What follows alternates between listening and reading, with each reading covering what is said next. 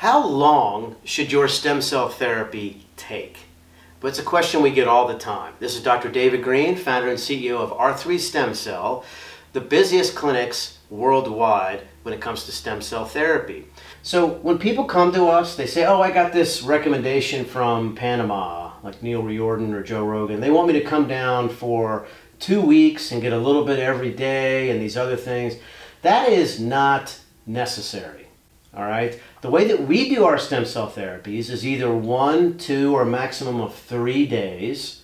And because a lot of times people are flying in from halfway across the country or the world, all right? You shouldn't have to take that much time out of your life or your children's lives in order to get these treatments accomplished.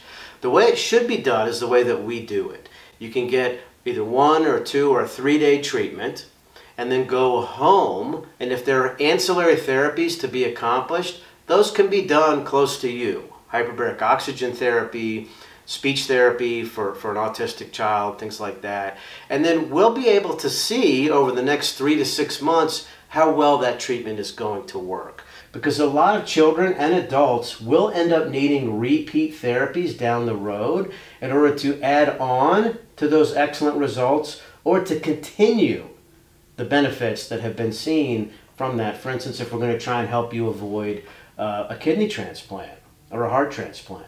The bottom line is you don't need a one, two, or three week stem cell therapy treatment plan.